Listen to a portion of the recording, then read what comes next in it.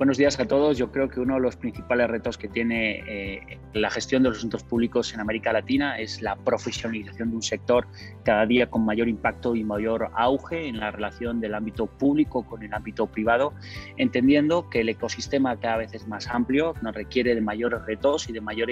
interlocución y de gestión de los asuntos desde una perspectiva común, desde un diálogo bidireccional. Yo creo que es aquí donde eh, esta gestión de los asuntos públicos eh, tiene que avanzar y tiene que profesionalizarse desde un ámbito mucho más amplio que el actual y es aquí donde una empresa como Atrevia puede, puede ayudaros sin duda con un equipo muy amplio.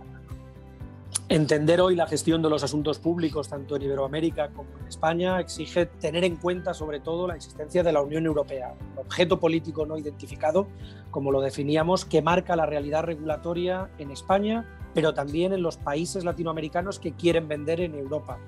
La presencia de Atrevia en estos tres mercados, en Bruselas, en la península ibérica y en Latinoamérica, yo creo que es lo que permite prestar un buen servicio de asuntos públicos en un ámbito cada vez más profesionalizado.